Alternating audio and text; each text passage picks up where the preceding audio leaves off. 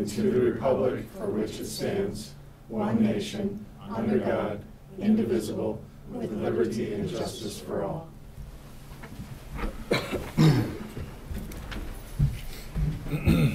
Sandy, could we have a roll call, please? Councilmember Schippers, Here. Elenbaas, Engels, Here. King, Mayor Filkins. Here. And at this time, if we could have a motion to approve the agenda this evening? I will make a motion to approve the agenda as presented. Support. Councilmember Elenbaas, Engels, Yes. King, Schippers, Yes? Mayor Filkins. Yes, motion carries.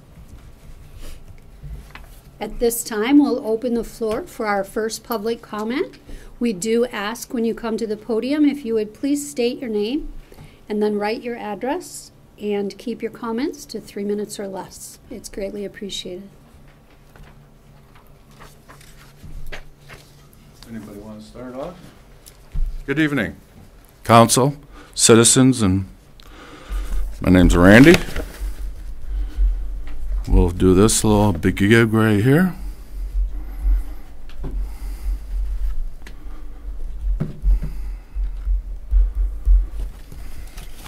Have several things tonight. Hope you can all hear me okay. First of all, uh, I'd like to start out to address council, city manager, public works. Uh, kudos uh, for a job well done for our street department, uh, for what they're doing. They're out there plowing day and night now. So we're uh, we're in a blizzard. Michigan winter wonderland. How beautiful can it get? Um, and along with that, again, I'd like to address council, city manager, uh, finance director on uh, keeping our sidewalks open. I know it's going to be a tough year, but citywide, for we can have a walkable community, it really, I mean, we got a foot of snow and I can't even, but I guess we got to go to Florida. That's a trick. Uh, just a couple of things real quick. Um, I want to address the utilities manager. You know, we're in a hot spot in COVID right now, and a lot of citizens are staying home, and we're doing a lot of washing and et cetera, and doing a lot of work from Zoom from home. Uh, just to top off of my head, uh, maybe could we see the uh, water rates drop a little bit? I know that's a tough one, but uh, just an idea. But okay. Um, uh, whoever, okay, and just a couple quick things, real quick. Stimson Street, uh, by the Shell Station in Mitchell Street, there's a one-hour parking sign that's been there for almost 35 years, never been moved. Uh, there is somebody parking there, and it is kind of a hazard because it's close to Mitchell Street, and people are pulling out of the Shell Station. And the other uh, situation I noticed is that Mitchell and Spruce Street.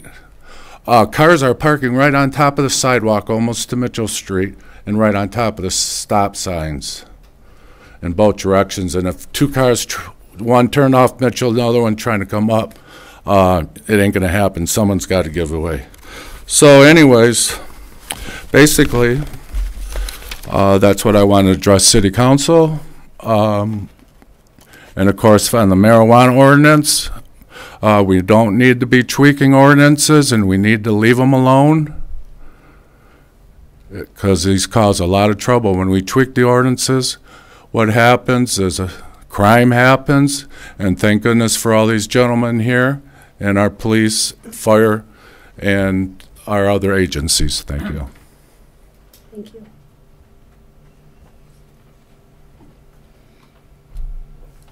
Well, I guess I will get started. First of all, thank you to Robert Engels for the Go Blue outfit. I have my little M here as well. Thank you, Beth. Um, I wanted to uh, address the um, marijuana issue and uh, just a, a couple words. The very large stacked grower facility and the word unlimited that's in the thing, and it really has bothered me.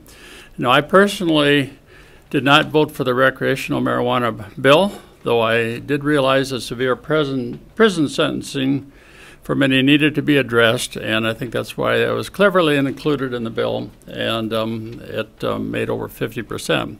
And I realize over 50% of Cadillac citizens were in favor of the bill.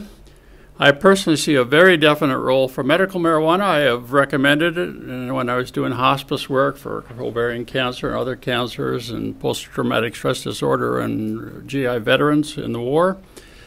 Um, but um, I thought the pot lobby would be very happy with the two dispensaries we gave for recreational here, and the one Class A, Class B, and Class C uh, growers uh, facilities and the related establishments that, that they were given to each licensee. I'm not addressing the uh, medical stuff, of course. Now we realize the um, Michigan uh, pot lobby is the, probably the most powerful in the country.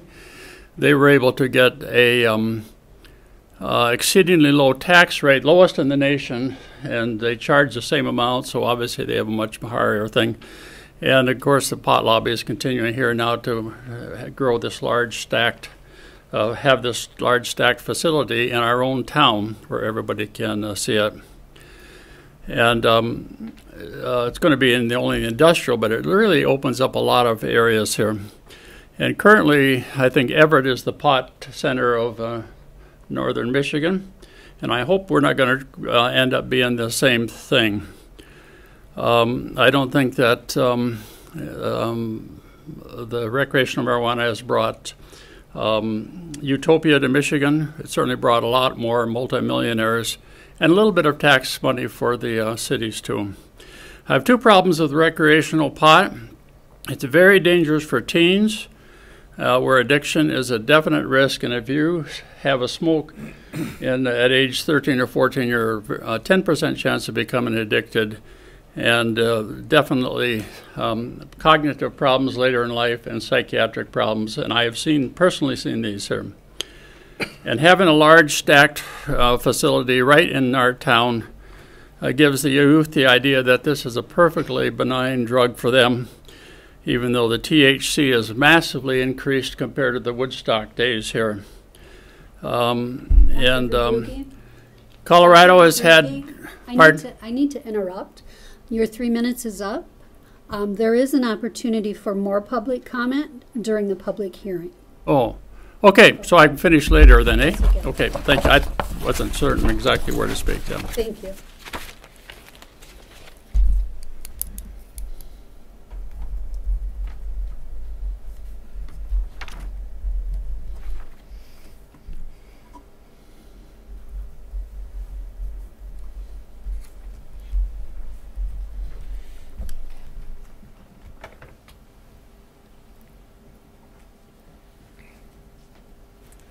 Good evening. My name is David Rosansky. Can you hear me okay? Okay. Uh, I'm an attorney appearing on behalf of WL Green Ventures uh, Incorporated, which is a medical marijuana provisioning center permit holder. I'm here to humbly request that the City Council give strong consideration to increasing the cap on provisioning center and retail establishment permits to four permits each in order to award medical marijuana provisioning center permit holders with adult use marijuana retail establishment permits and vice versa. Doing so would not uh, increase the existing number of marijuana retail locations, but would allow for a more competitive market within the city of Cadillac. Benton Harbor and Niles have very similar population sizes as Cadillac and both allow for four retail establishments within their respective municipalities. The city can take comfort in knowing this about increasing the cap.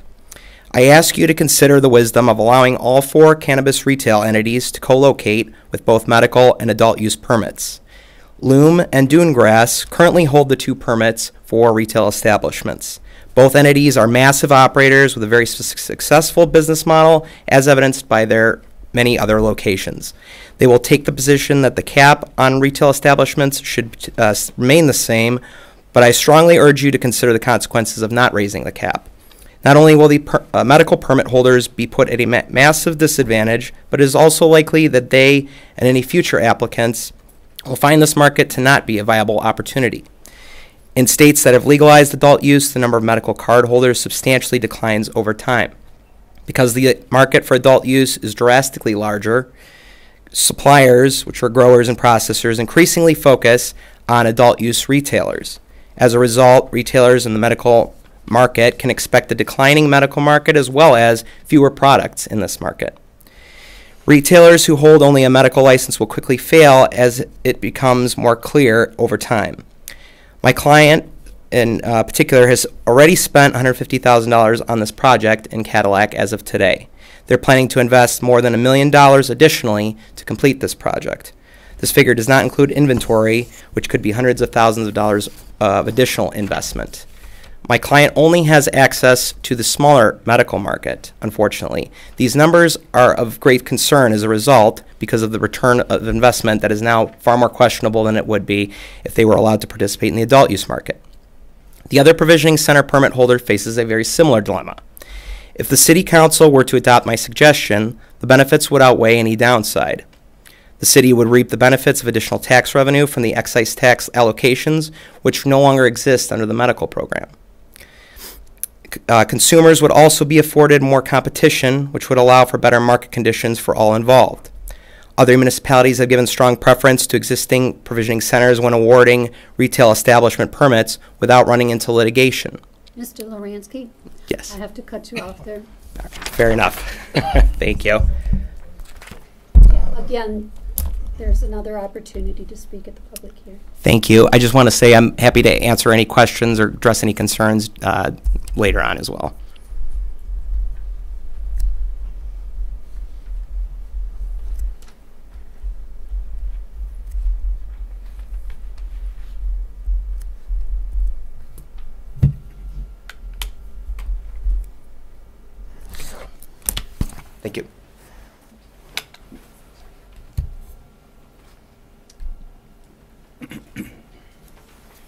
Okay, seeing no one else, we'll close public comment and move to the approval of the consent agenda.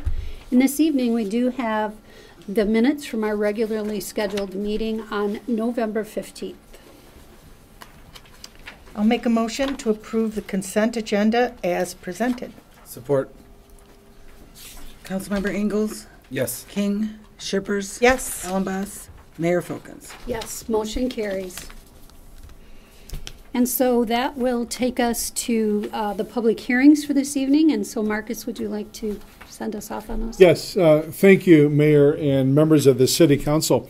Um, My remarks will be somewhat brief, uh, and they will be relevant to uh, the two public hearings that you have before you this evening regarding uh, our marijuana program. Uh, The City Council uh, essentially had first reading and set the public hearings at your last meeting uh, with respect to making uh, uh, adjustments or amendments to the marijuana-related ordinances in order to be able to accommodate industrial type facilities within our industrial zone in the city of Cadillac. The city of Cadillac got into the marijuana business basically a couple of years ago in terms of regulating and zoning for these uses. Uh, the city only created one license type for all growing type licenses, processing type uh, license, uh, secure transporter, uh, testing facilities. We really weren't weren't thinking much about uh, that license type or those uses, but more so on the retail end when the city council created two license types for both medical and, recrea- and recreational. Those license types basically those regarding the retail uh, provisioning of marijuana or uh, dispensing of it are not subject for council's uh, ordinance discussion this evening. Uh, th- that is something that perhaps we can revisit later this winter or, or this spring once we get over this, this current hump uh, in terms of uh, the industrial use. And it is something that we have talked about um, uh, frankly, at your last meeting, I think I mentioned it as well, that it would be something that we would be looking at maybe revisiting uh, later this year or early next year in terms of uh, whether or not to, to do another revision. Um, but in any event, looking at uh, where we're at today, uh, as your documentation uh, refers to, we're looking at taking the cap off of uh, the license types that are currently prohibiting the ability for there to be industrial uh, marijuana uses within the park. Uh, and looking uh, at how other communities have done it, having the restrictions removed and simply renaming it as unlimited is the best approach. There are uh, reasons why, and that frankly is because you might have one facility based upon its scope, might need 20 different licenses, uh, only because of the, the way that there's statutory restrictions or limitations on the number of plants um, that uh, each license can get you.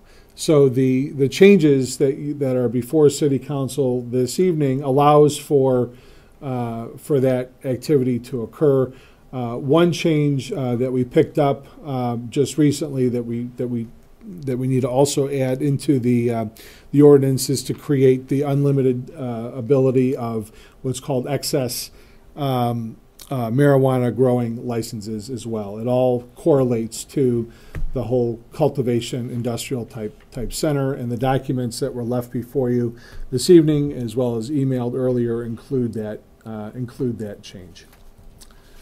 So that Okay. those are my remarks. I'm not sure if Mike, do you have anything you want to add? No, I think you covered it all. Okay, thank you. Okay, at this time, uh, in the public hearing, we'll go ahead and open the floor for comments as it relates to this public hearing. And um, to let you know, if you speak during a public hearing, you actually will be allowed six minutes um, to be able to cover everything that, that you would like for us to take into consideration this evening. Okay. And there are two. public- There are two public hearings, and the first one here is the one to um, address the Recreation. recreational establishments.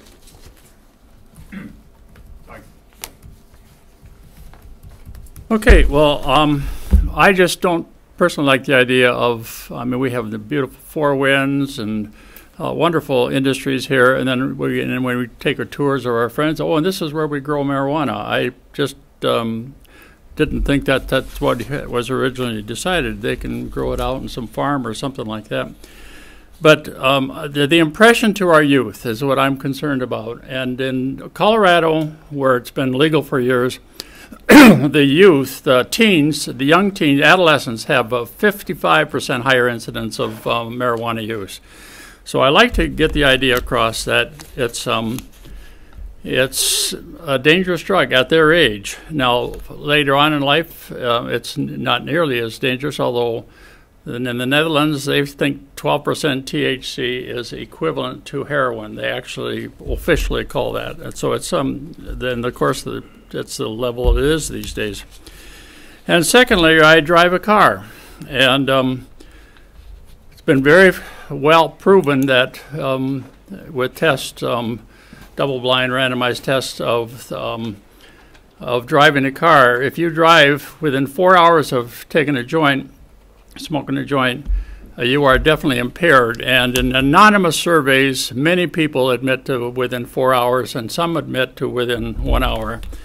And um, so again, I just don't think we need to. It's it's just going to be snowballing, especially that word which I do not like at all, called unlimited, because you take give them an inch and they'll want a mile. So. Um, there's a wonderful book by Ben Cort called Weed Incorporated. You can watch a 14 minute YouTube of the whole book, but it talks about all the dangerous things that can happen when it's just, especially when kids start early. And he himself started at age 13 and wanted harder and harder and harder drugs and was severely addicted.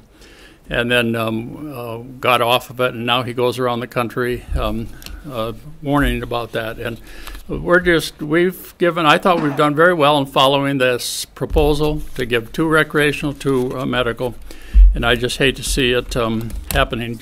And just to let you know how, one last example, and I'll sit down, in how um, in Colorado, for instance, in Pueblo, they analyzed um, in a hospital newborns for one month, and 45% of those babies had marijuana in their their um, umbilical cord.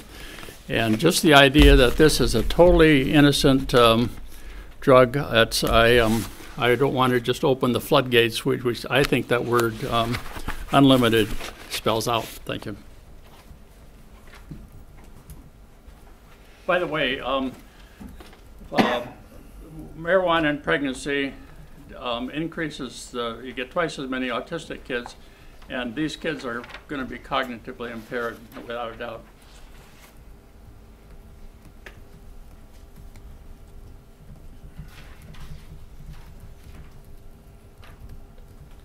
Randy.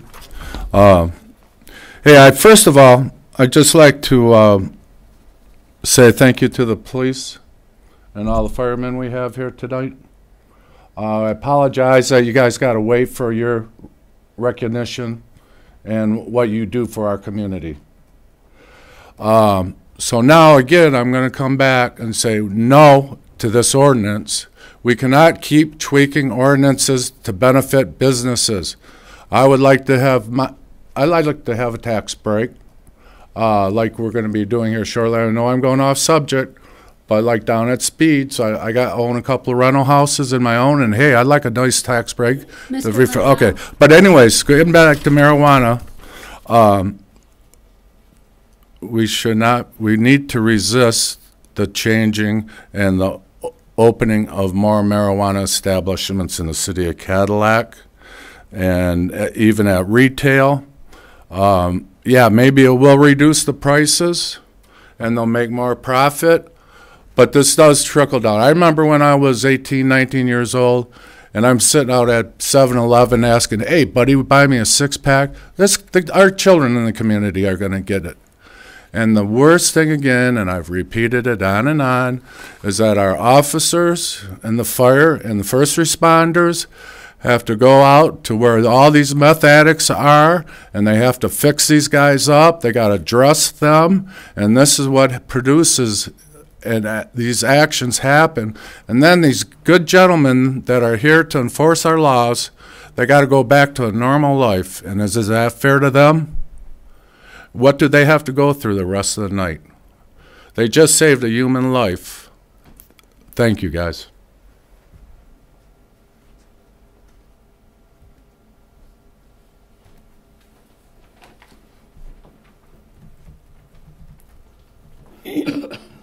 Okay, not seeing anyone else, we'll close the public um, hearing. And, or excuse me, the public comment portion of the hearing, and then go to any discussion amongst the council. Or if you have any questions for Marcus or Mike. I thought I would add, if I, if you wouldn't mind, Mayor, course. members of the coun, the council, that um, the city does frequently work with a, a private nonprofit group uh, that's been in town since the, I want to say the nineteen fifties or sixties, called the Cadillac Industrial Fund. Uh, and as a part of um, uh, our collaborations, they are well aware um, of the changes coming forward uh, under consideration for tonight, uh, and we're supportive of, of doing that and looking at trying to further encourage economic development and industrial development within our uh, community. And so, uh, area industry is well aware um, of what of what City Council is uh, looking at. And we got to tour the um, uh, facility, the Lume facility in Evart, um, where they grow. How many growers license did they have? Do you remember? Um, I, I think they have somewhere between 20 and 25 licenses, including a processing license. yeah, it was a very, um, a very nondescript uh, building. Um, it was It's hard looked to find. it was, yeah, it looked like a nice place to work. Um, looked like any other any other factory or um, industrial building that you would see or warehouse. So. Um, I think that was definitely um, a, a good tour to take, and you know, I think this would be a good industry to have, you know, in, in Cadillac. So they, they seem like good jobs. The workers seem happy, and um, it didn't seem to be a nuisance of any kind. So a uh, facility um, of that scope could bring a couple of hundred um, well-paying jobs uh, to the community uh, across a spectrum of, of uh, both white-collar and blue-collar type positions. So, And it's not, um, I mean, it's, if you're driving around, it's not like it's gonna be uh, obviously what it is. And if you're taking tours even in the industrial, through the industrial park, I don't think it's gonna stand out I, in any way. It also will not, um, a growing facility is not on the, on the main street. It's not promoting the product among the citizens or even, you know, visitors or whatever. It is a way to manufacture this project product, and this is a growing industry, and it's highly, highly um, regulated by the state. And uh, I think that it's something that we should do here. There are also, um, to my knowledge, no other industries in the city in which um, the city itself first has a sort of determining hearing, like what you're having this evening, to determine whether or not to allow this type or that type of an industrial use based upon its use. And so the reason, of course, why you're you're having that conversation is because of the way that um, the state of Michigan, and because it's marijuana, established under state statute the fact that you have to um, specially approve licenses for this type of use. But as we're very fortunate to have a very vibrant uh, industrial park within the city's uh, limits, uh, they make a whole host of different types of products uh, that go to market. Um, everything from defense contractors to you know boats to you know wood, wood burning you know facilities that make power for the electric grid to everything rubber that you could find on a car. Uh, there's a, a whole variety of different things that are manufactured in the community. Um, some that some people might find offensive, some that some people may not. But yet, you know, this is the only time that you're in a position that you're in where you're you're making having to make that determination about about the use. So. And these facilities, um, a, ma- uh, uh, ma- not a manufacturer, a growing facility, really would not be able to function without being able to have multiple licenses. Correct. Otherwise, you'd have a bunch of little fly-by-night things, you know.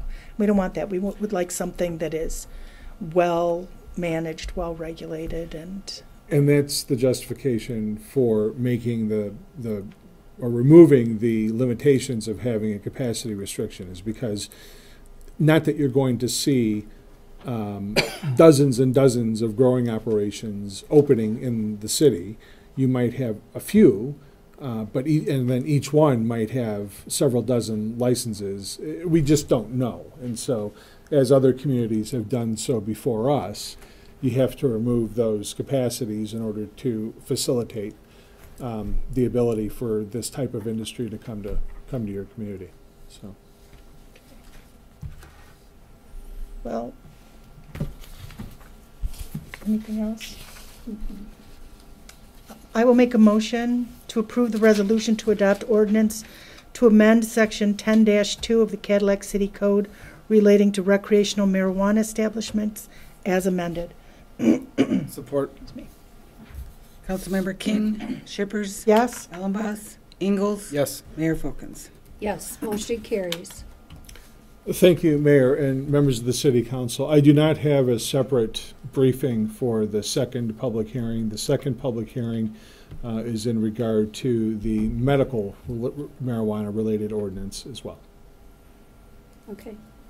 Do we have a separate hearing on that one? Yes, Okay. yeah, it's a Yep. separate public hearing, but there isn't okay. a separate presentation.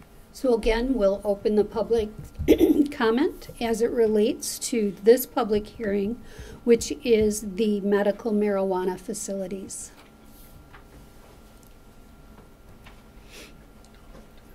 Yep, it's me again.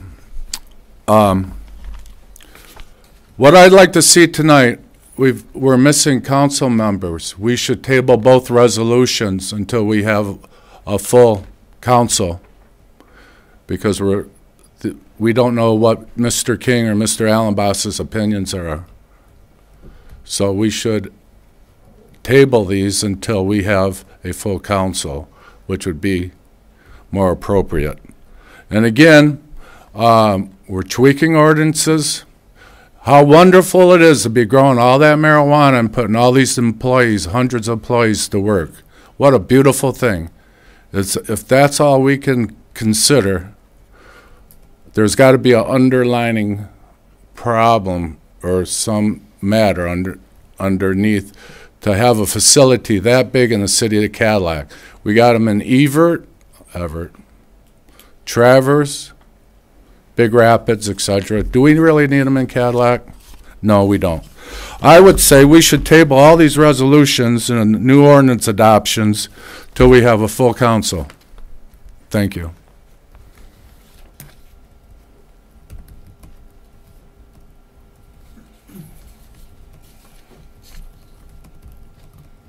Okay, seeing no one else, we'll close public comment and move forward with any other discussion the council would like to have, or if someone would like to entertain a motion. Um, I will make a motion to approve the resolution to adopt ordinance to amend section ten three of the Cadillac City Code relating to medical marijuana facilities. Support. Councilmember Schippers, Yes. Elenbaas, Engels, Yes. King, Mayor Filkins. Yes, motion carries.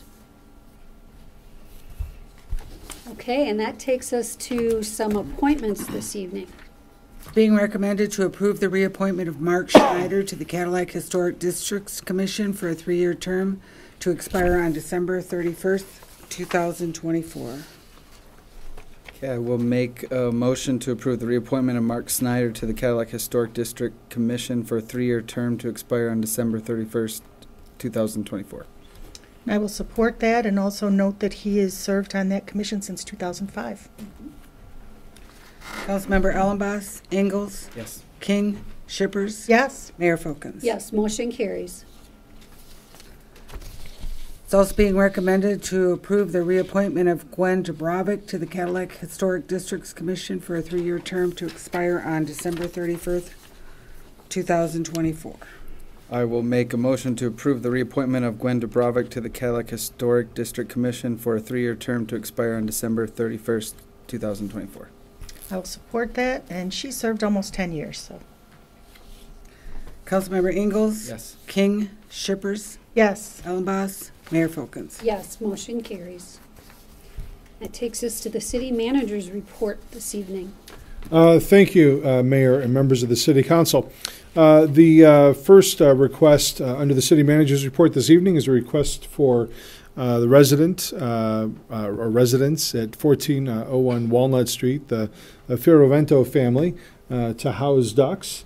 The City Council several years ago put an ordinance in place that allows for the administrative approval for up to six chickens or hens, no roosters, as well as for six rabbits. Uh, But the ordinance stopped there. It did not get into any other uh, livestock. Uh, A request came in uh, uh, from the family to be able to house up to six egg-laying ducks uh, within their rear yard. Our recommendation this evening is to follow the ordinance that we have, which then requires city council to consider that request. Our recommendation would be to approve it, given that we have a past track record of approving requests for the six uh, egg-laying hens as well as uh, six uh, uh, rabbits. Uh, We did receive uh, correspondence from a neighbor across the street concerned that there might be uh, upwards of a dozen or so uh, ducks currently at the residence. Um, I'm- I am not factually certain if that is true or not, however, uh, certainly following uh, city council's determination this evening, assuming that city council does approve up to six, uh, we will verify and then uh, require that if there are any more than six, that the homeowner uh, remedy that situation to make sure that there is only six. Sophie's choice for ducks. Yes. Mm, Are the neighbors here that wrote to us? No, it's, the weather's out pretty bad. Well, given the fact that um, when we've approved these things in the past, that I believe Mike Coy goes out and checks on things, and he is a worthy checker of things, um, I would, I would make the motion to approve the request from the Fior, Fiorvento family, Fiorvento? I believe so. I'm Yep. sure I'm, I'm sure I'm butchering that. Fiorvento family. Forgive me if I said it wrong. I have a similar name. Um, to keep up to six egg-laying ducks within the rear yard of their residence at 1401 Walnut Street, and at night or during inclement weather like we have right now, within a stall built in their shed. I'll support that as well. Councilmember King, Schippers, Yes? Elenbaas, Engels, Yes. Mayor Filkins. Yes, motion carries. Uh, Thank you, Mayor, members of the City Council. Uh, Since uh, 2010, this is the next item regarding the prosecution services contract. Since 2010, uh, the city and Wexford County have uh, been in a uh, intergovernmental agreement or or relationship where we've had collaboration within those services. It's time again for that agreement to be renewed. There are no uh, changes to the agreement. Uh, The current extension and fee structure for the contract does expire uh, at the end of this calendar year, and the recommendation uh, would be to uh, not make any changes uh, in rates or services uh, and to continue it for another four-year uh, extension. What did we do before 2010? Uh, Before 2010, we used the prior uh, law firm and paid whatever the current rates were at that point.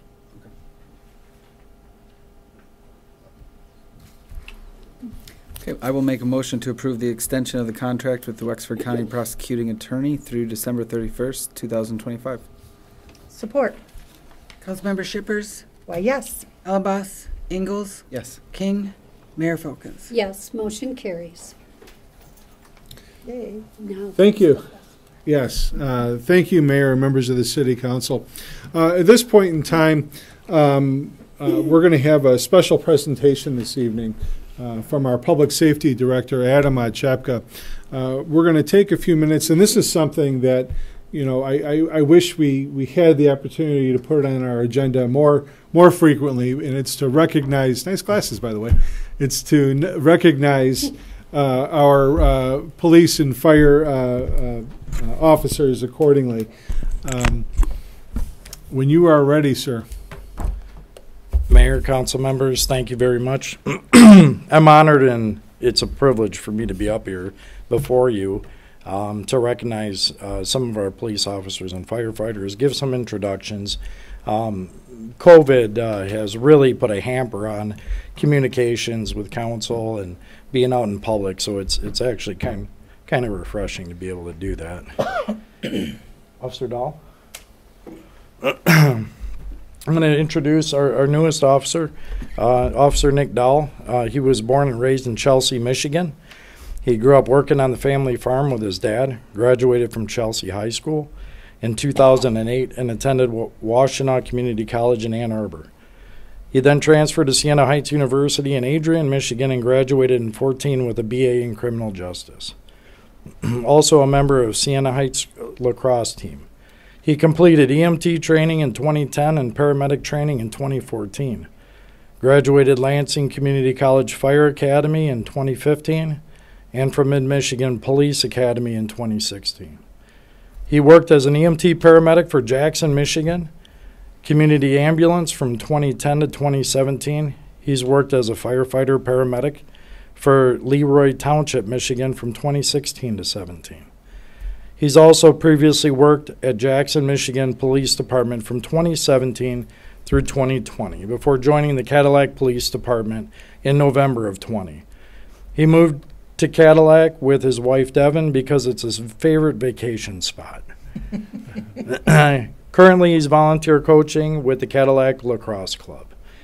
Um, Officer Dahl, thank you for your service. Thank you. Next introduction I have is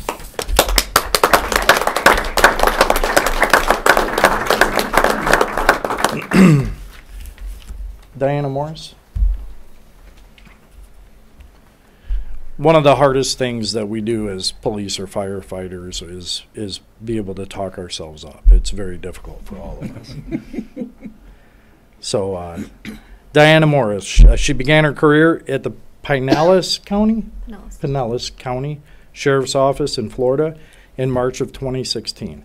In August of 19, she moved back to Michigan with her boyfriend, who is now her husband, because he wanted to move back to his hometown. After moving to Michigan, she discovered that she missed law enforcement, went through the MCOLES recognition of prior training program, and became a certified Michigan police officer. She was hired by Cadillac Police Department in March of 2020. Diana, thank you for your service.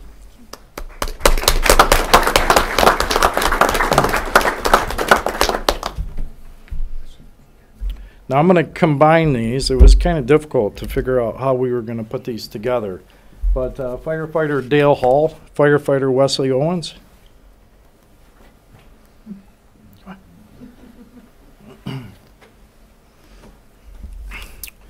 Dale is an introduction. Wes has been with us for quite some time. Dale started the fire service back in '09 as a volunteer in Leroy. He is a third generation volunteer firefighter and worked alongside his dad with the Leroy Rose Lake Fire Department until coming here to the city fire department in 19. He also worked at the P- Peninsula Fire Department for several years. Since becoming a firefighter, Dale has also received his EMT license, fire instructor certificate, and is currently taking college classes working towards a bachelor's degree. He's also a member of the Michigan Fire Service Instructors Association and has worked with the State Fire Marshal's Public Outreach Program. Dale worked at the Career Tech Center before coming here, where he helped teach public safety classes. There, he helped incorporate fire training into the class and helped plan several large training exercises where the high school students got to work alongside first responders. Since he started working here, Dale has had to learn how to cook, and he's also become a pretty good baker. When he's not, a, did someone write this for you? when when he's not at work, Dale enjoys spending time on Rose Lake during the summer and plans to be doing a lot of snowboarding this winter. I'm going to go over a, a quick, a quick um, intro of uh, firefighter Owens. Wes entered the fire service after high school in 2010, obtaining his fire certifications, EMT license, fire officer certifications, and an associate degree. He worked part time in Grand Traverse County as a firefighter EMT. While living in Manistee, he served as a member of two volunteer departments in Manistee County with Manistee Township and Filer Township Fire Departments, along with coaching swimming with the Manistee swim team and high school teams. Wes was a lieutenant and training officer for the Manistee Township Fire Department, where he, among others, impacted new training standards and practices to improve department professionalism and safety. In 14, he was awarded Outstanding Young Public Service Provider by the Manistee JCs. He was then hired with the City of Cadillac in 2017, where he serves as a full time fireman. During his time with the city, he has assisted with imp- impl- implementing a water rescue program and policy and has recently been nominated at Union President for the Cadillac Firefighters Local 704. He currently lives in the city of Cadillac with his girlfriend and three dogs. He greatly enjoys working for the fire department and spending time out of work with friends and family. Which brings us to the first awards. the morning of September 29th, 2020, at approximately 9:25 in the morning, the Cadillac Fire Department was dispatched to a report of a structure fire at 1224 Dandy Street in the city of Cadillac. Upon arrival, firefighters noticed a large amount of smoke billowing from the single-story residential structure.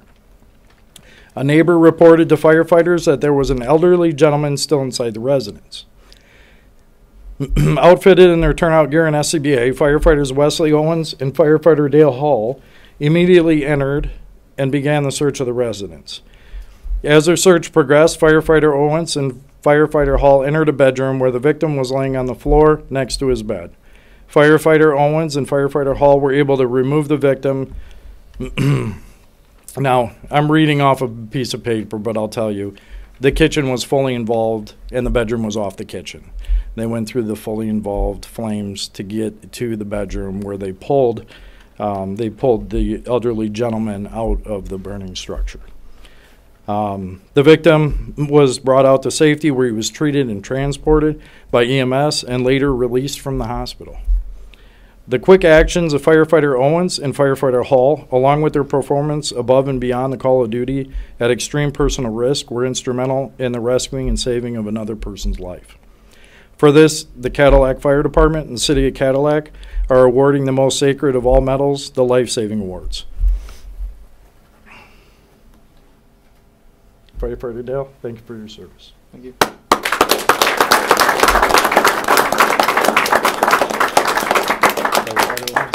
Thank you for your service.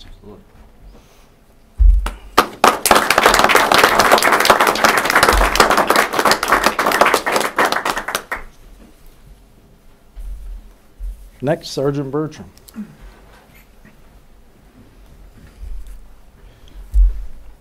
Sergeant Bertram is a husband of 17 years to his wife Lindsay Bertram, and they have two teenage children. They live in Cadillac area since he was hired by the Cadillac Police Department in 2007.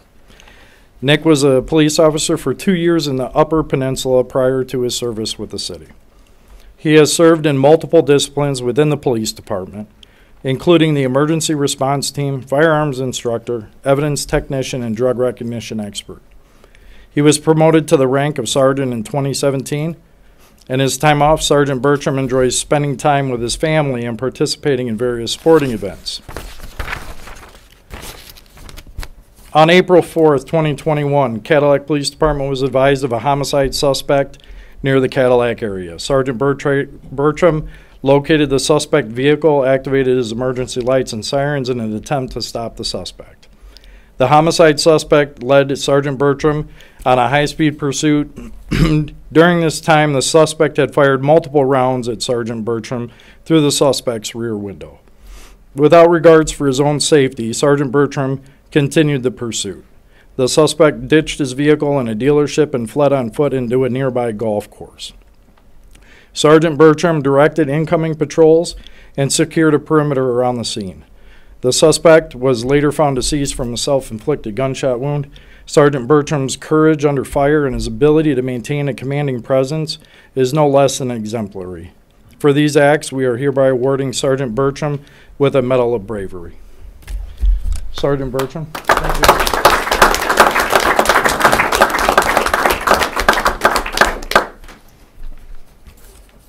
Deputy Chief. Last but not least, very much not least. uh, this is uh, Eric Eller's biography. He was born and raised in the Alpena area. He graduated from Alpena High School in 1990.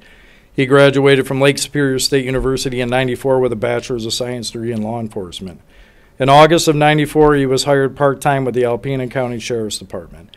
In March of 95, he started full time with Eastern Michigan University Police Department, and in July of 95, he accepted a position with the Cadillac Police Department. He's been an evidence tech, a member of the emergency response team, accident reconstructionist, school liaison officer, property room manager, and FTO, field training officer. In February of 07, he was promoted to sergeant, and in 16, he was promoted to captain. He is on the CTC Public Safety Advisory Board and serves on the board of directors for OASIS. He's a graduate of the Law Enforcement Executive Leader Institute. By the way, he graduated top of his class, but he won't say that. Mackinac Basic and Advanced Supervision School, Michigan Chiefs of Police Executives and New Chief School, and the National Command and Staff College Command and Staff Leadership Program. He has currently served the City of Cadillac and the citizens for the last 26 years and five months.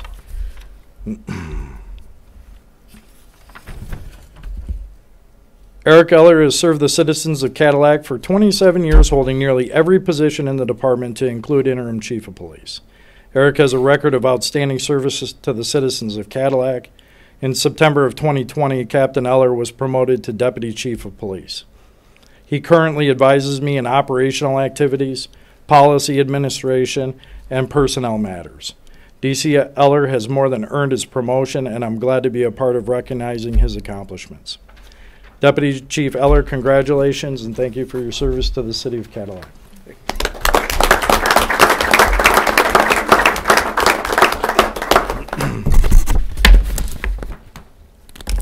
And that's all I have for you today. Thank you. Thank you. Thank you, uh, Mayor, members of the City Council. Again, really appreciate everyone's time uh, in regard to acknowledging uh, some of the very special activities uh, of our police and fire departments, and of course, uh, the special recognition uh, for some of the things that they've accomplished in terms of life saving and, and bravery, as we learned this this evening. This next item is another special recognition item. Uh, and this is uh, in regard to the Government Finance Officers Association of America Distinguished Budget Presentation Awards Program. Uh, and I have uh, a few remarks that I prepared before I, I kick this over to, uh, to Owen uh, that I'd like to, to just kind of run through. Um, the city of Cadillac, for the last 38 consecutive years, and I'll repeat that, for the last 38 consecutive years, has received the annual Government Finance Officers Association of America, or GFOA, uh, Distinguished Budget Presentation Award. And for the last 36 consecutive years, uh, received the equivalent award for the Comprehensive Annual Financial Report. Uh, these awards are determined based on an examination of our documents uh, by a panel of independent reviewers. Uh, uh, they are the highest awards achievable, the highest form of recognition in governmental budgeting nationally, and according to the GFOA, uh, represent a significant achievement by our organization. Additionally, for the first time ever, our city received, and again, for the first time ever, our city received special recognition for our annual budget, specifically uh, under the section regarding performance measures. Uh, as members of council know, our, our process begins with and, and ends with you. Um, you know, City Council's engagement with our professional staff as a part of our annual budgeting process is, is invaluable. It, it enables our organization to utilize the tools that we have to create the financial documents, you know, that are ultimately used by every department of the city and, and of course are available to the public too. These documents are very easily accessible just by going to our website, or if you don't have internet access, you can come in and, and we're happy to, to share with you what, whatever it is you might be looking for. Um, so as I thank everyone on council, you know, for council's continued, you know, support, I, I really need to especially thank our finance director, Owen Roberts, uh, and, our, and our accounting manager, Carol Pacella, uh, for their tireless efforts every year in creating the final products that, that then have become, you know, basically uh, uh, treasurers nationally for people to model their documents after. Uh, and so, with, with those remarks, I'm now going to turn it over to our finance director, to Owen. If you would. Okay. Did you want to see the video first? Is that? Yeah, sure. Yep. Okay. Yep. So the uh, this year, as part of that, you know, by, by the way, thank you. And I just have a few a few comments to make on that, but um, wanted to show you this video. I was hoping this would be a little bit more personalized um, for us, but this this came from the GFOA, and really it mentions Cadillac in the ribbon, and it's kind of pre-recorded, but it just kind of highlights uh, from the the national director of the GFOA what it what it really means to to do this. Greetings from the Government Finance Officers Association. I'm Chris Morrill, GFOA's Executive Director. It is my honor to recognize you for receiving the Distinguished Budget Presentation Award. The purposes of this award program is to encourage and assist governments to prepare comprehensive and understandable budget documents that we believe will both improve transparency and trust in government. To earn the Distinguished Budget Presentation Award, you met demanding program criteria. Such a record reflects the professionalism, commitment, and dedication of your organization's leaders and finance team. We hope that this award will serve as an example and encourage others to strive for the same high standards in their own budget documents. Therefore, it is my privilege, on behalf of the Government Finance Officers Association, to present to you this Distinguished Budget Presentation Award. Congratulations. Greetings from the Government. Once is enough, I'm sure. so um, first, I want to start off by saying, um, you know, this started 38 years ago, and I was a happy-go-lucky sixth grader at 12 years old at the time. So, uh, you know, I had no part in in in starting the excellence uh, of of what represents um, this award for the city of Cadillac. So, my predecessor, uh, Dale Walker, just want to give him um, just a special recognition as well for uh, taking the initiative, uh, really to begin that for the first time, both on the budget uh, and the and the audit report. Um, in the in the video, he mentioned the the two words trust and transparency, and that this really should be an assurance of that. I think to our community, and I think when you look at um, some of the the things that we hear negatively, um, what you hear is the opposite of those words. Um, kind of untrustworthy and not transparent. And I think what we do with these documents and the easy access that we try to give to them uh, makes it uh, something where where it really represents, I think the um, really the the prime example of what trustworthy and transparency really looks like. So that really is the really the impetus behind. Um, uh, continuing to undergo these processes. It adds uh, dozens, if not, you know, a hundred or more pages to our documents, and they can be a little bit intimidating at times. We're, you know, we're, we're always happy to help walk people through that information, but really it represents something where if you want to know it about the finances of the city, uh, you really can find it in what we publish uh, and make publicly available and have multiple, multiple uh, public meetings and discussions about. So uh, it's also not a one department or a one person uh, effort. Um, Carol really is uh, is somebody that I just rely on time and time and time again. Uh, quality control, putting together numbers, um, just just helping um, fix my mistakes and um, you know just provide quality information and communication of that as well.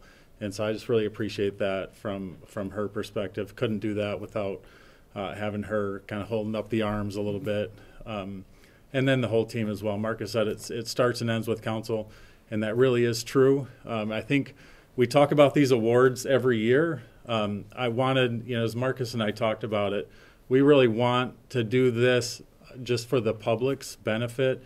You know, we, we put the plaques on the wall every year um, and, and add the years to the plaques. And I think it can, can kind of become just routine to say, yeah, we get the award and we get that every year. Uh, there are 1,700 uh, units of government, including counties, schools, cities, townships, uh, in the country uh, that get this award. Um, there are 38 of those in the state of Michigan out of about uh, almost 1,300 um, cities, village, townships. Um, and so I think it really is something that's, that's noteworthy.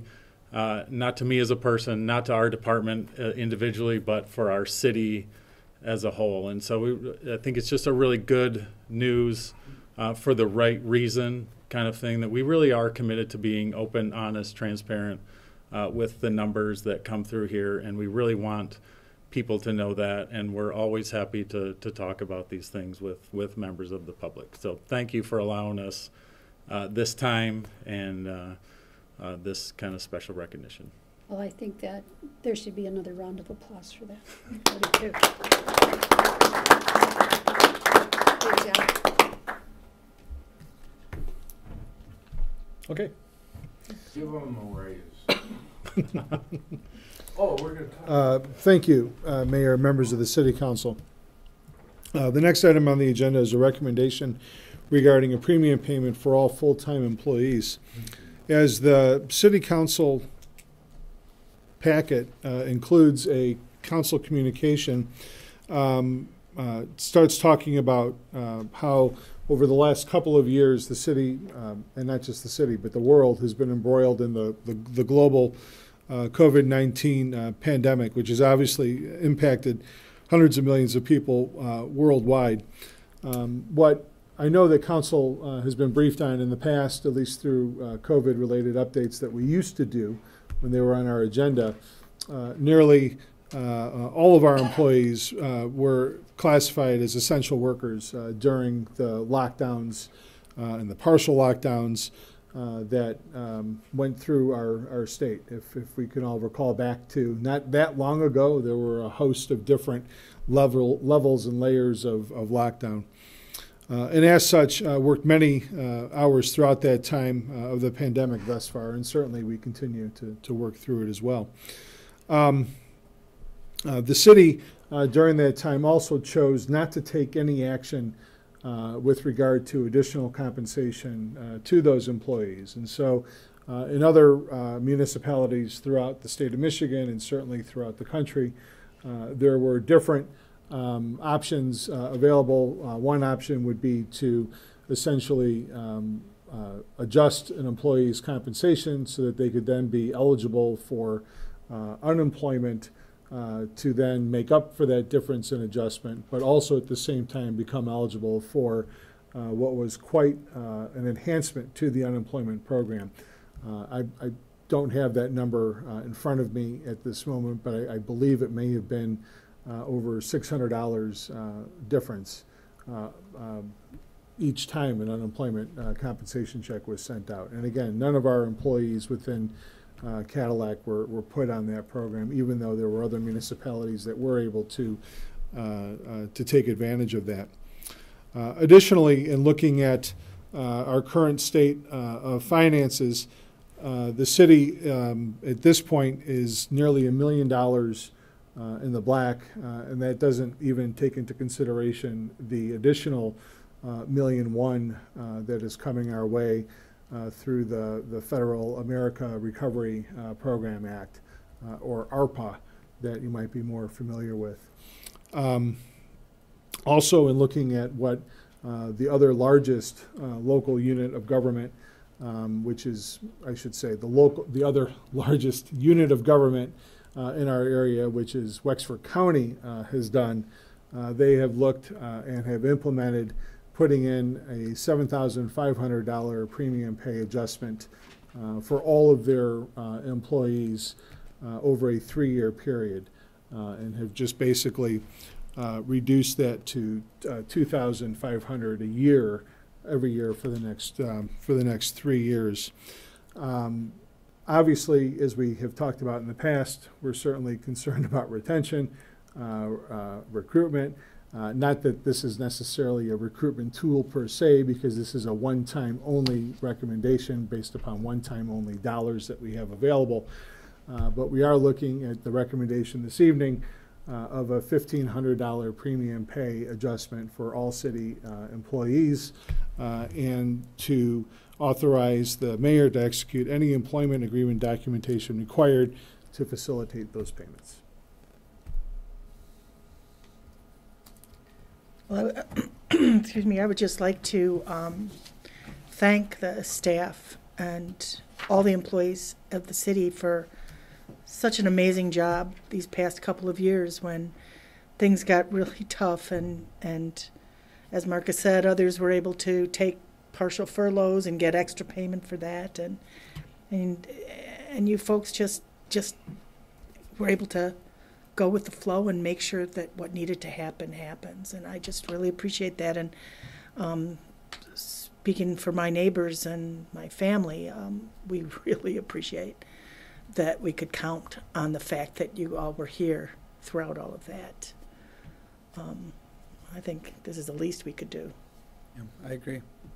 I think it's a, a very reasonable, reasonable ask, and it's not unique. Um, it might sound unique to some people, but it is not unique as we've come through this um, last almost two years of COVID. Um, there's many organizations um, doing the same thing for their employees, and so I would echo uh, what uh, Councilmember Schippers um, has said about uh, being grateful, knowing that our police and our fire and our city staff were there for the community throughout the pandemic, and that you'll continue to be. So thank you.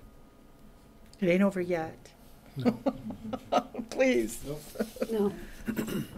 Um, I would like to make a motion to approve a premium payment of one thousand five hundred dollars per employee and authorize the mayor to execute any employment agreement documentation required to facilitate those payments. Support. Councilmember Elenbaas, Engels, Yes. King, Schippers. Yes. Mayor Filkins. Yes, motion carries. Can we, um, when will they be getting their payments or these payments? Before the end of the calendar year, possibly by the end of this week. Oh, that would be lovely. Before Christmas would It'd be be great if it Be was the before Christmas. seventeenth. great. Seventeenth. Seventeenth. Good to. Yeah, seventeenth. That's great. Good job, everybody. Thank you. Since we're clapping a lot tonight.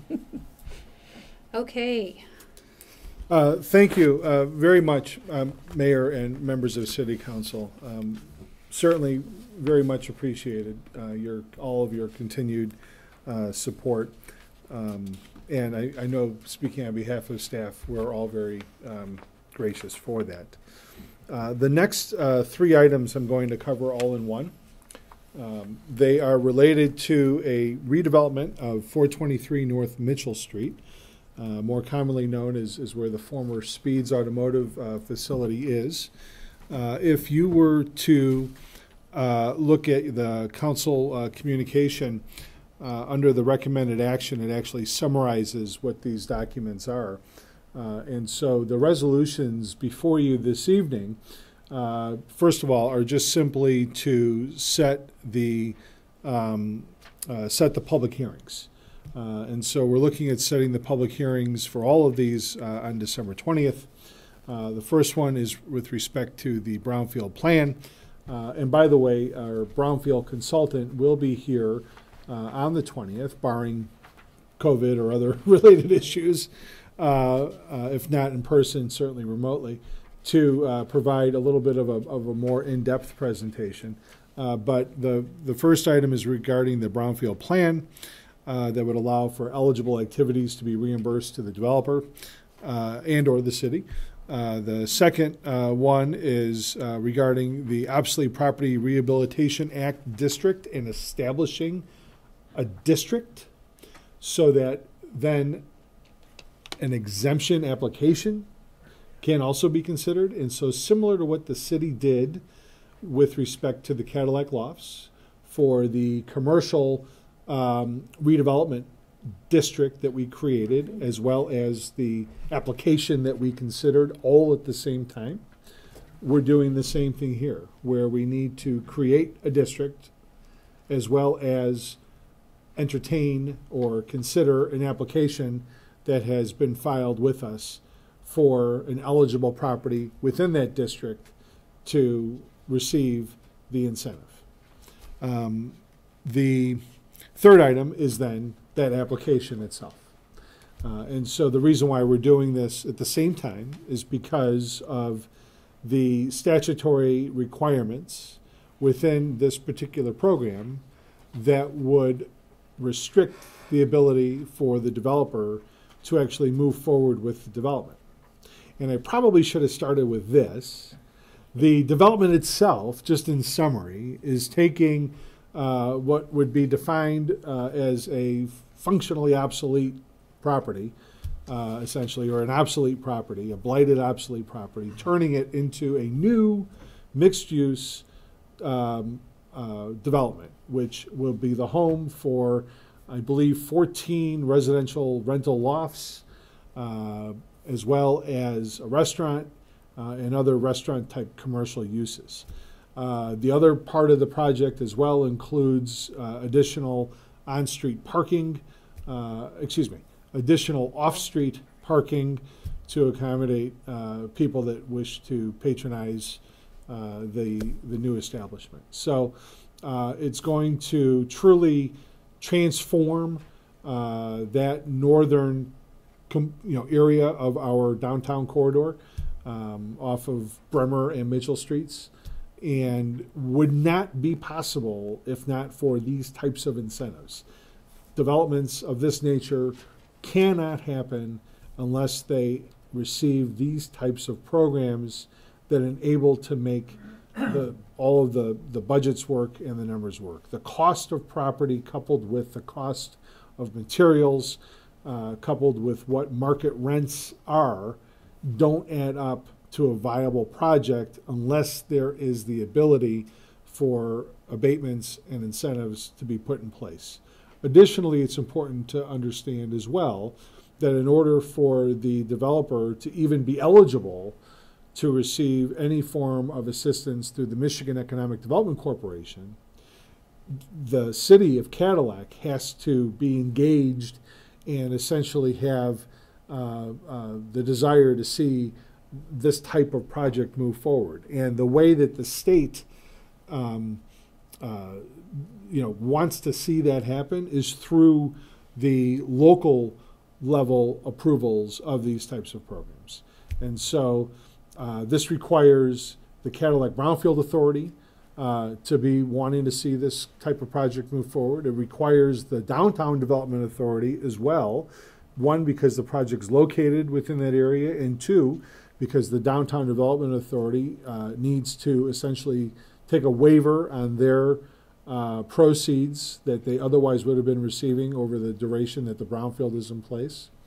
Uh, and then, of course, it involves City Council. City Council has to then overall approve uh, the abatements that you're going to have before you that we're going to have the public hearing on, presumably in a couple of weeks.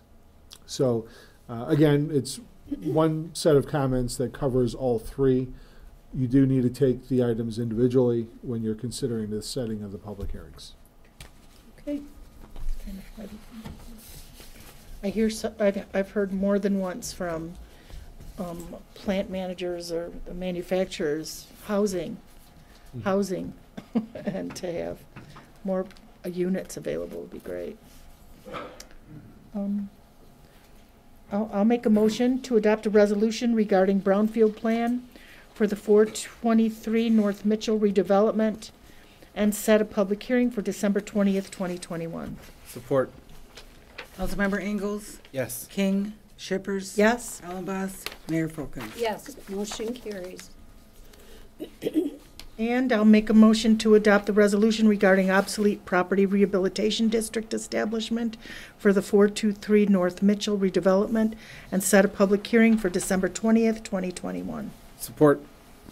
Councilmember King, Schippers. Yes? Elenbaas, Engels, Yes. Mayor Filkins. Yes, motion carries.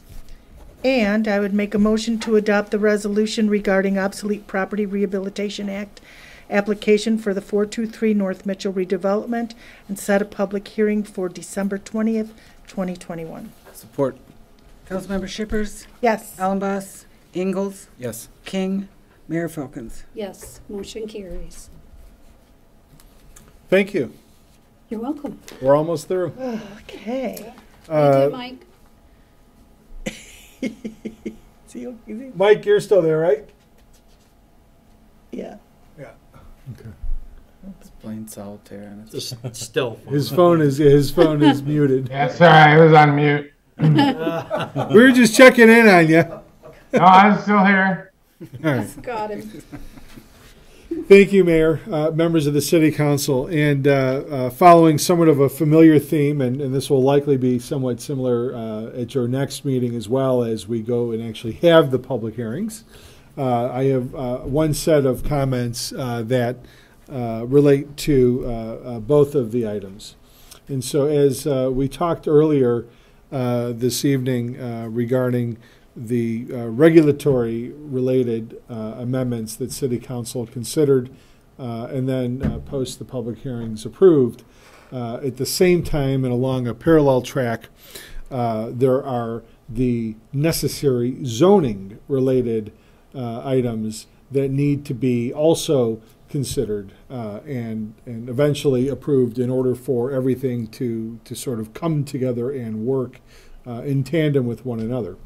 Uh, to that end, uh, at the Planning Commission's last meeting, uh, they considered the uh, uh, uh, zoning related items, and they are co-location, uh, stacked growers, licensing, and minimum distance requirements. And again, this is related to both the adult use of recreational and medical marijuana ordinances or, or program that we have. The Planning Commission unanimously approved uh, the recommendations that were set forth. Uh, and the recommendations set forth again that are very clearly outlined in the public packet uh, allow for the co-location uh, so you can have both uh, uh, an adult use and a, a medical license at one site. You can stack licenses, something that before, which was prohibited, would, would not allow for you to have, as a, for instance, a, a large cultivation facility with with dozens of licenses under one roof. You could also have, as a for instance, a processing license in that cultivation facility. Uh, that's something before wouldn't be allowed. And as uh, we have learned in, in, in just our sort of informal research, most cultivation facilities do have a processing facility in accordance with state law within a separate part of the building. Uh, and that's something that uh, we've heard would be of interest if we're if we are to have a cultivation facility here. Uh, minimum distance requirements as well. Uh, after much thought and looking at again how some other municipalities have done it, having an arbitrary distance between this type of use uh, and uh, any other use within the city, we thought was not appropriate given that there is no use, or excuse me, no spatial separation at all between any other use within our industrial park and any other part of the city. That being said, after careful uh, uh, uh, consideration and, and diligent discussion with the Planning Commission, uh, they did amend that component as a part of their recommendation uh, to uh, require that the marijuana use within the industrial park not be immediately adjacent uh, to any type of, of public or private educational institution or you know school, and so that that is part of what is before you this evening. And the recommendation would be to set the public hearings tonight uh, for those two zoning-related ordinances for your December 20th meeting. And um, we can certainly do a, a retread of that, of course, on the 20th as a part of the staff presentation. But December 20th is going to be a yeah, big meeting. yeah, big meeting. Well, they're all big, you know, but yeah. I thought the planning commission did a good job um, hashing this out and keeping the minimum distancing uh, Mhm. regulations, so. I'll make a motion to adopt the resolution to introduce ordinance to amend section forty-six seven five two of the Cadillac City Code relating to recreational marijuana establishments and set a public hearing for December twentieth, twenty twenty-one. Support. Councilmember Elenbaas, Engels, Yes. King, Schippers. Yes? Mayor Filkins. Yes, motion carries.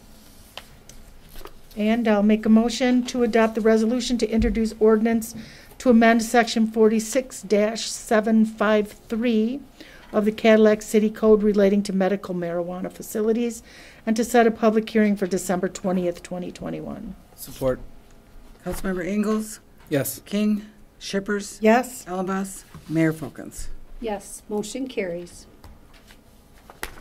You know, when we first um, passed these ordinances, I distinctly remember us saying that, you know, we were on the front end of doing this, and we said that as we learn, as we get new information, we can always adjust and tweak as necessary. And I'm glad to see this coming forward, that new information brings new um, policy, which is as it should be. I- I appreciate that, Councilmember Schippers and Mayor and um, Councilmember Engels. And as I mentioned earlier this evening, um, you know, we're not prepared this evening to present any new recommendations to City Council regarding the other license types, specifically the, the retail uh, types of licenses, both medical and, and recreational. But, you know, we will be looking at what options might be appropriate for council to look at down the road. Uh, it is important certainly that, you know, that we try to accommodate the, the medical provisioning centers. We have issued two licenses. There hasn't been any movement uh, because of the, the issues that uh, were expressed earlier this evening. Uh, and, you know, we'll, we'll certainly have some dialogue, you know, maybe this spring, later this winter, at some point in the future about how we should proceed. Should we proceed at all uh, in changing anything uh, or, or, or tweaking anything? And, and those are just conversations we're just not prepared to have yet tonight. And so, as I mentioned before, sort of baby steps. Um, you know, this was the, the next thing on the list that we needed to, to re-examine. So. All right. Uh, Tonight, we do have in our packets the minutes of the uh, elected officials compensation commission, and y'all got a raise. We all got a raise. So uh, we appreciate the work of the commission, um, uh, so thank you for that. And that will take us to our final public comment for this evening.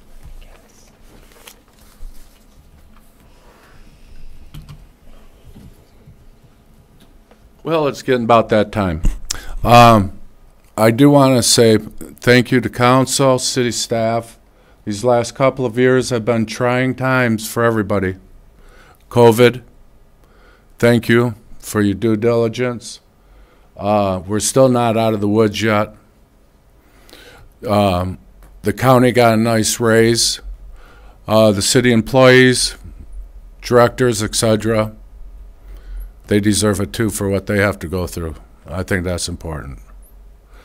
So, bottom line is, uh, thank you. Uh, it's, you know, it's a hundred years ago we were going through some other pandemic, you know, and it's the more times change, the more things stay the same. But, anyways, um, I do want to say one thing. I've been coming to council meetings for two to three years. And I don't see what we're doing for the citizens of Cadillac. I mean, sure, we're doing improvements here and there, but it's all for the industry, all for business.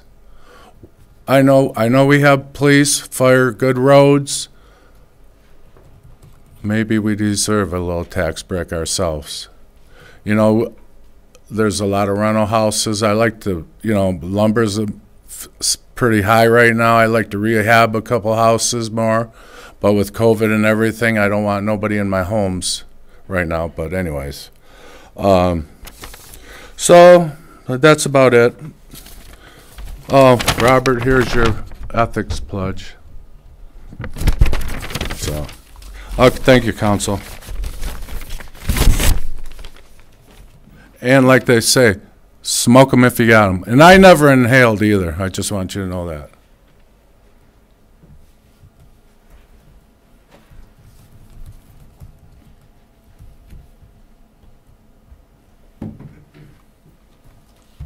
Hello again. I would just like to uh, thank you for your comments uh, about considering the provisioning center retail establishment issue, and uh, I would appreciate uh, the council uh, having an open mind about the topic. Certainly, uh, there are other communities that have faced this choice as well. Uh, I just reiterate that not proposing increasing the number of locations by any means, just making it uh, a competitive market, as I think was the intent behind these ordinances. So, thank you. Thank you.